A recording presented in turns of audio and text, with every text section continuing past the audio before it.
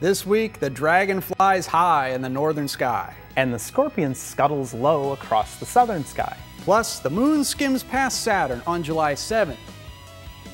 When you face north any evening this week at 11 p.m., look high in the sky for some semi-bright stars that mark the head of Draco the Dragon.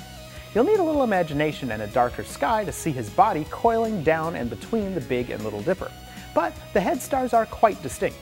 Then turn south, and you'll find the constellation Scorpius the Scorpion low in the sky. Look for his red beating heart star called Antares, but watch out for his stinger, a string of stars that curl down and to the left that end with two stars right next to each other. And get ready for the night of July 7th. The moon will be just to the right of the scorpion's claws and within two degrees of a yellow star. But that's no star, it's Saturn. Keep looking, looking up.